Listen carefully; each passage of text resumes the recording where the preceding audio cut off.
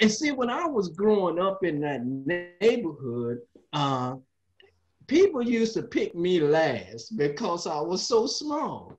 I said to myself, you know what? What is it about me that is good? What what's what's um what's about me that I have on the inside that I can be better? Instead of looking at all the other boys that was bigger than me and hit harder and way much more than I do, I thought to myself, well, I can outrun them. I can, you know, I'm faster than they are. I can squeak through holes that they couldn't, where they couldn't catch me. So we used to play football in the street all the time, touch football. So that's what I did.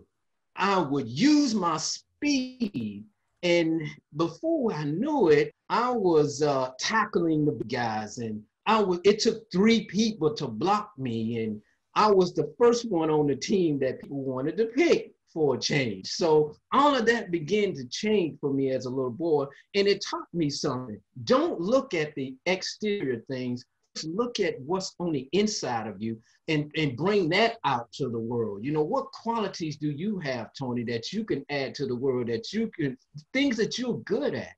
And so uh, that's what I did.